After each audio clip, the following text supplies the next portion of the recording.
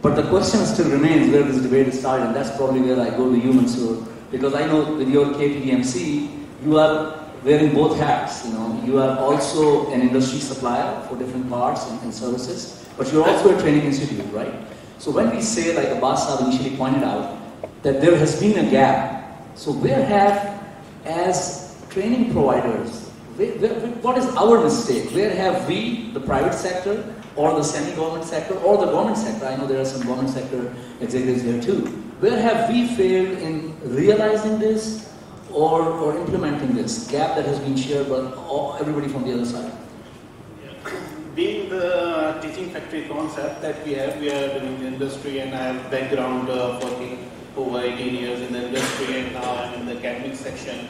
So I can realize and I'm working on this, what is the real gap. The real gap is between what is required by the industry and what is actually we are producing. There is a gap. So in my opinion, we should encourage the professionals, aside the faculty members, the professionals who are actually working on the job, they should take part in the academic section. There should be some 20%, 25% of the course content which must be taught by the some professional of the certain field. He will not only share his experience, working experience, but the student will also get it.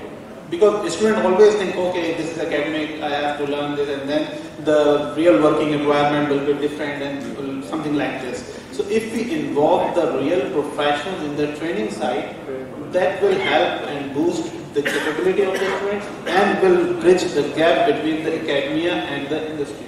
And this is what we are practically doing, practically doing at KTDMC.